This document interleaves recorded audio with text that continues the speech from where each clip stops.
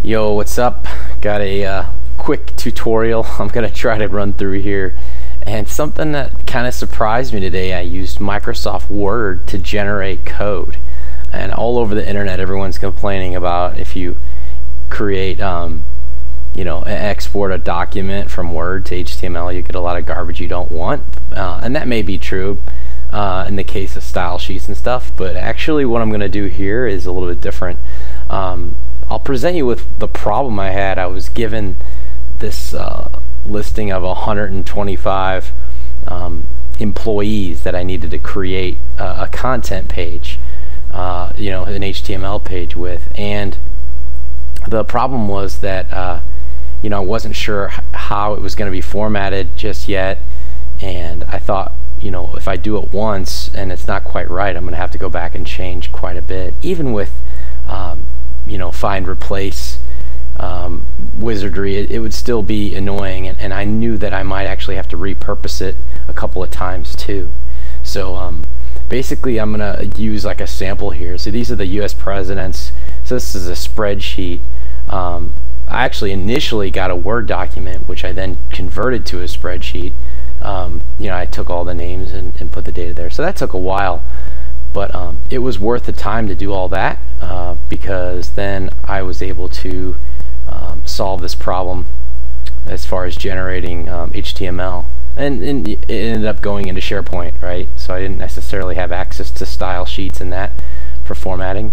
Um, so you saw the spreadsheet there and what we're going to do is we're going to use mail merge to actually generate some uh, some code.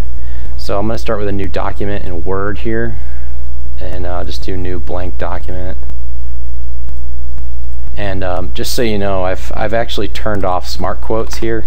That's uh, some of the auto format autocorrect options in in Word's options. So if you do do this if you don't copy paste from somewhere else you may need to do that. Um, so basically I want to make uh, a little bit of HTML and uh, what that's going to do is uh, it's going to be placeholders for this bit of data. So let's pretend we want to feature all the US presidents. We want to show their name in bold and then maybe a bit of uh, trivia about them and then the link to their Wikipedia page. So I'm just going to do a snippet of HTML. This is exactly like I did um, some bios of some employees a little while ago. So let's start with uh, the headline, headline 2. Okay, I'll leave that empty and then I'll do a p tag and in here um, so the headline is going to be the name. P tag is going to have the bit of trivia. And also I'm um, going to have after the trivia the link to the um, Wikipedia page. So I'm sort of thinking about this ahead of time. It's really easy in hindsight right? But um, it's actually not too difficult to do. So again headline. So let's just simulate it. So this is going to be the name. So George Washington right and then in here it's gonna be like cherry tree blah blah. Um, and after the after the line break then um, Wikipedia link and, and that'll be an actual URL so and uh, going back to the spreadsheet that we got the URL in a column got the first and last name in columns there's our trivia.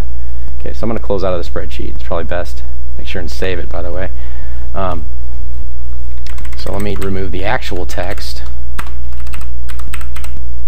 And get our blank area there. So um, let's go to mailings and let's go to start mail merge and then we're going to go to step-by-step -step mail word mail merge wizard. So here, um, what type of document? Letters is fine.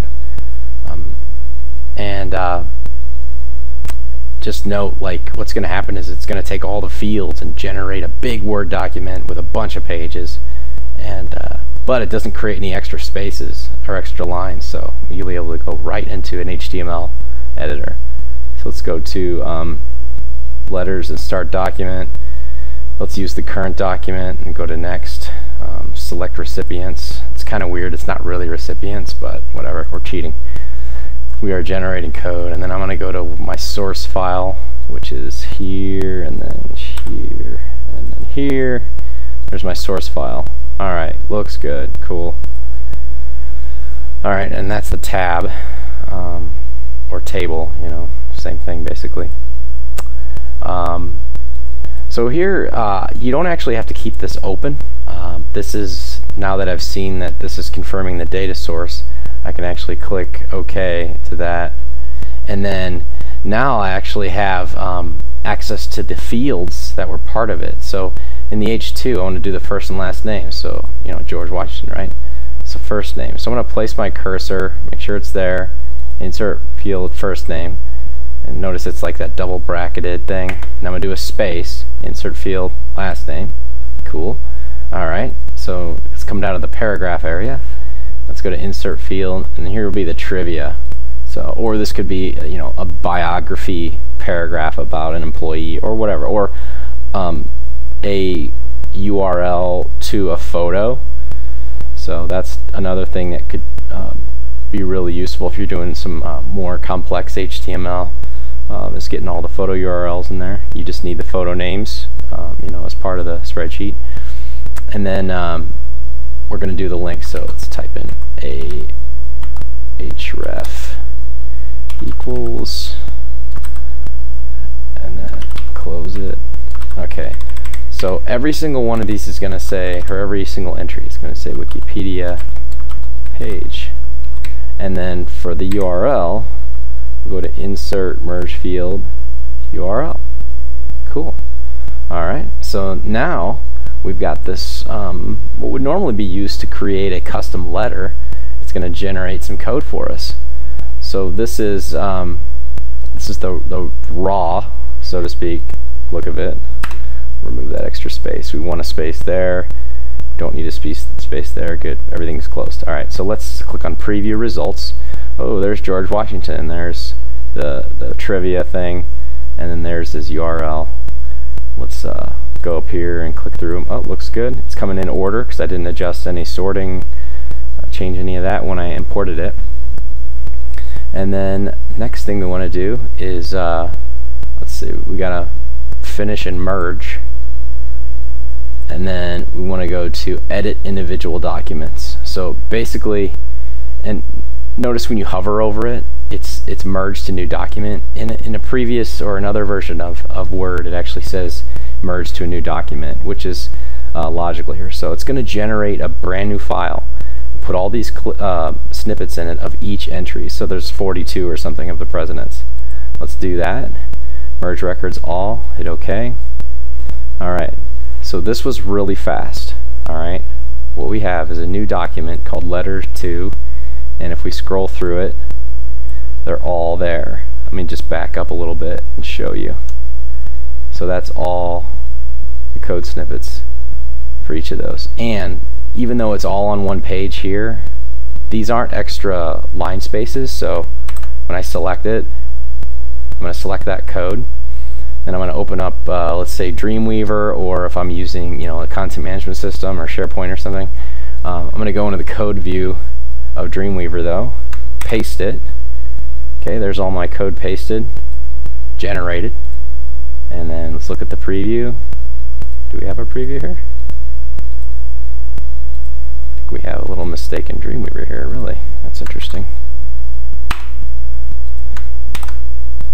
There we go. Just a little bit of a Dreamweaver preview problem there. Um, so here is my generated code.